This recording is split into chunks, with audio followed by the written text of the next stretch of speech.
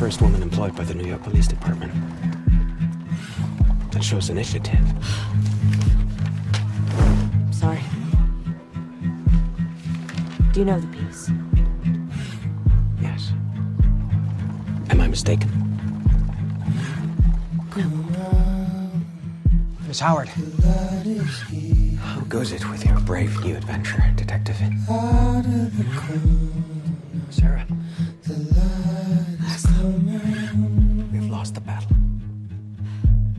I sometimes wonder what good my theories do. We set out to find a monster, but all we found was a wounded child. Neither skin, bone, and sinew. Which of us are not monsters?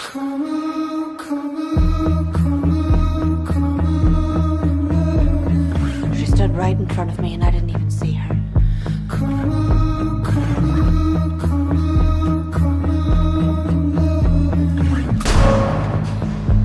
To your doctor? Is that your boyfriend? Breathe. No. It's my father. Is he not around anymore? My father. He had an accident with a gun. My father had two sides. How did you cope with your father's suicide? I slow. I used to loud puppy.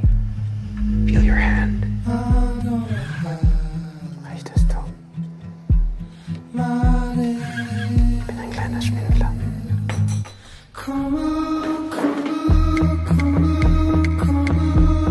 I imagine that will suit you well enough to be quite alone.